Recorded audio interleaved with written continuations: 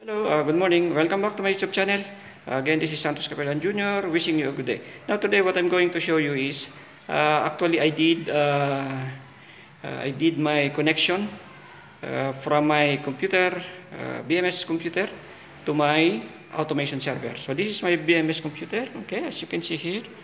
Okay. Now I connected it to a media converter, okay? Now from my computer I run one I connected one Cat6 cable, okay, or my copper going to my media converter. So this is my media converter. As you can see here, my link are already up, fiber and uh, copper. Okay. Now the this one is my uh, fiber cable. Okay. Now this yellow is my fiber cable. Actually, this is a uh, fiber patch cable. Okay. Now this is the next uh, media converter. Okay. Now as you can see here my link for my fiber is already up except for my uh, copper okay? The copper is connected to my automation server okay?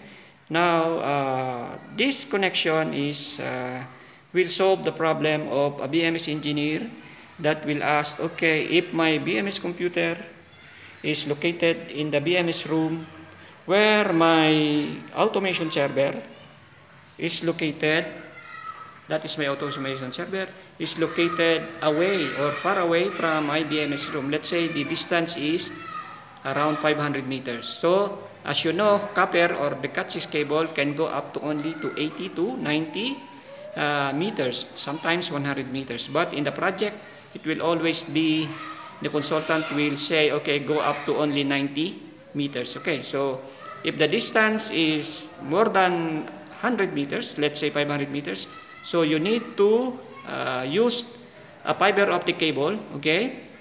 Since our network is IP, so you need to uh, use a fiber optic cable. This time, this is my fiber optic cable. Now, this fiber optic cable can go up to kilometers, okay?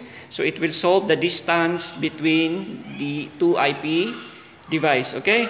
So here, okay, one uh, fiber optic, another fiber, optic bridged together by a fiber cable. Okay, so meaning this fiber optic uh, media converter will be installed near my automation server. Okay, then this another fiber uh, or media converter will be installed near my uh, BMS front-end computers. Okay, so this is how are you going to uh, do the network for BMS computer or BMS workstation and BMS server going to the media converter located near your uh, computer.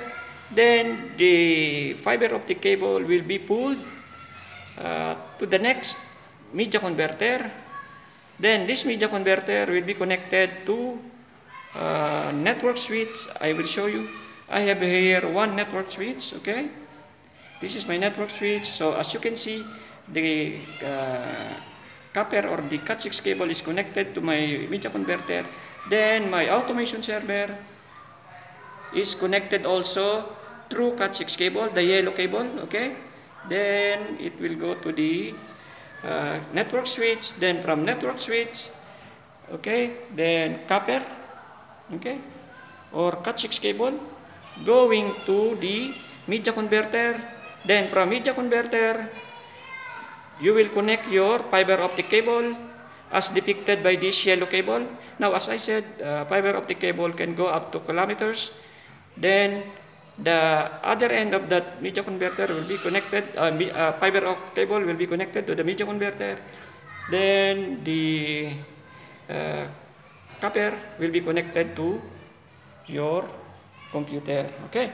Now, in uh, buying your media converter, make sure that you will specify the distance of your uh, fiber optic cable because uh, maybe you will buy a media converter which can support only 500 meters, then your actual distance is 700 meters, then it will not work.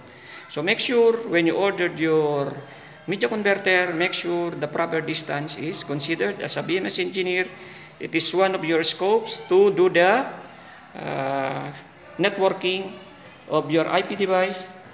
As you know, this BMS computer will be communicating over IP protocol, okay? So, computer, media converter, connected to media converter, media converter, there will be one fiber optic cable, whatever the distance, maybe one kilometer, then we'll go to the next media converter, then the signal from fiber optic cable will be converted to copper, then that copper cable will go to the network switch, okay, then the network switch, your media con- uh, your automation server will be connected to the network switch. So as you can see, the link will be complete, okay? Okay. Now, uh, again, I hope I have given you an idea. How are you going to uh, use media converter to connect your front-end computers to the automation server in your project.